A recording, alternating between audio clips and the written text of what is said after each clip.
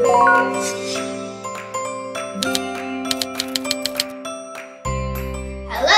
I'm Yuhan Gan. I'm in 6th grade of Yunsul Elementary School. Nice to meet you.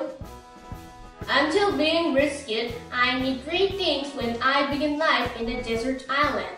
That's because it's not easy to act without tools. Three things which I will bring to the desert island are a lighter, an axe, and a pot.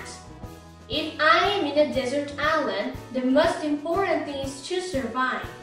If I use these three things, I can survive more easily. First, I can make fire with the lighter. Unless I make fire quickly, I will suffer from thirst, hunger, and cold. I want to live as quick as possible to save time. If there is fire, it can be the most important thing. I can cook food and I can purify seawater. In addition, I can keep myself from wild animals which make me feel scary. I will bring the lantern. Second, the axe is the most useful of all tools. It can chop trees, it becomes weapons when I am in danger. So, I will bring the axe which I can use usefully.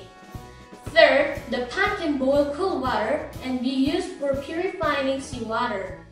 In a desert island, it's difficult to find things to put things in. So, I will bring the pot which can contain things easily. If I bring these three things, to survive can be easy.